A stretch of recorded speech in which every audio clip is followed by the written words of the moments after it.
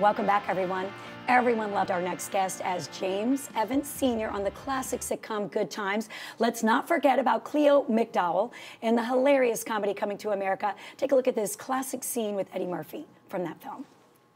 Sir, I was wondering, did you happen to catch the professional football contest on television last night?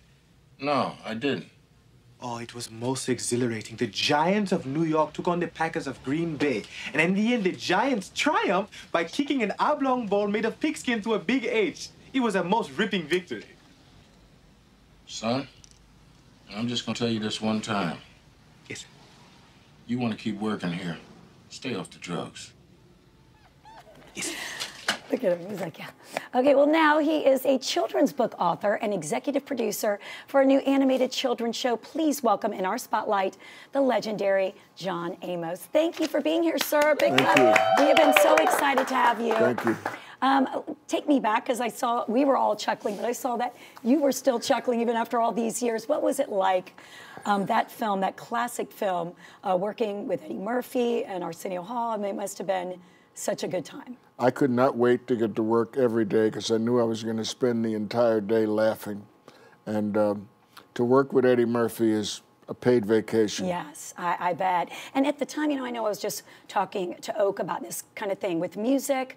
When you hear it, you know it. When you were working on the film, did you say, this is, I think this is going to be a big hit?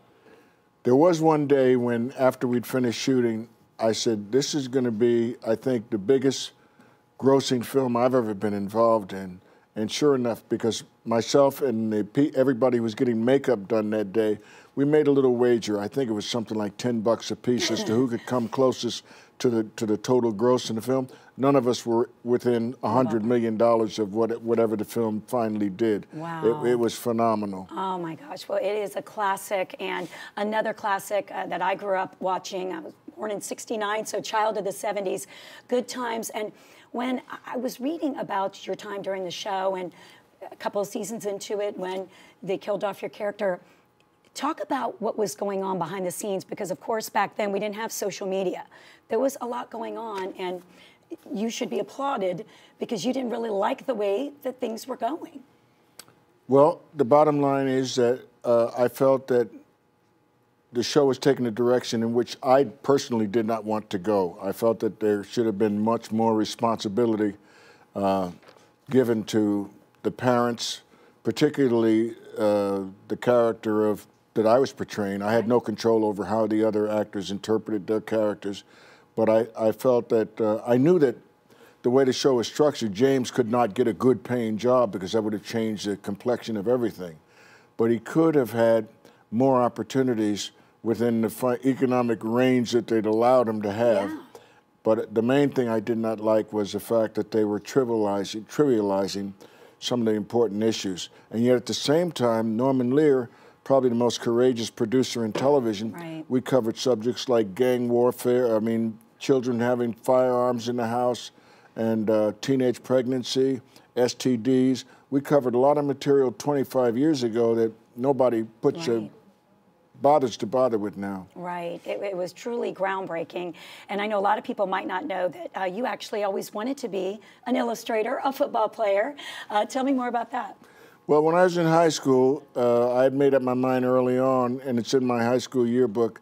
It says my aspirations were to become a cartoonist and to go to the New York School for Cartoonists and Illustrators. So as as fate would fate would have it, rather, as time went by, I did ultimately make the full circle back to um, animation. I'm now working with uh, Charles White, who is West, excuse me, Charlie West, who is I feel one of the top animation forces in the country right now. And animation is going to be extremely important in uh, the years to come for children to express themselves. Please. Yeah, no, I was just going to say, what, what age group are you targeting with the new book, by the way? It's called A World Without Color. A World Without Color, and also the animated series that Charles West is uh, instrumental in developing, uh, Nubbin and Friends. So both of these projects will be making their debuts or making their impact on the public very shortly. Good. Well, we can't wait to tune in. And uh, that's Nubbin and Friends, uh, the video right there. And what is the message that you want to get across? I have a seven year old and a nine year old daughter. With this, is, are they the target audience? Yeah, but not just to entertain them, but it let's call it edutainment. Yeah. Where the children are uh, subliminally receiving an education without all the uh, Good. all the stuff that usually goes with learning. Before they know it, they've learned something and they've enjoyed it as well. So Absolutely. There's enough junk out there and, and, and things that just are, you know, mindless.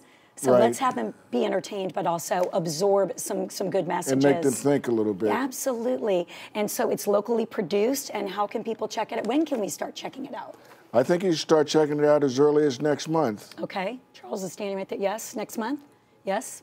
Yes. And, and, he's, and it's going to be, oh, July. Am I getting the saying. confirmation on that? Yeah, he's saying July. July. And um, it's Okay. it's going to be on Google's platform, um, and so we got to make sure that we can just Google it and watch it on um, what was it for YouTube Kids? You got it. You two kids. YouTube Kids. Excellent. It's nice that he's standing right there. I'm telling you. I'm That's telling great. you. That's that's my my brain standing over there. Listen, I know how it feels. well, it has been such a pleasure. Thank you so Oh, much for thank you for the, the, opportunity. And I hope all your, your viewers will catch hold of the, both of these projects. uh, Absolutely. Nubbin and Friends and the, uh, the book as well. We can't wait for you to contribute to uh, this up and coming generation as well. Thank you. Thank you so much.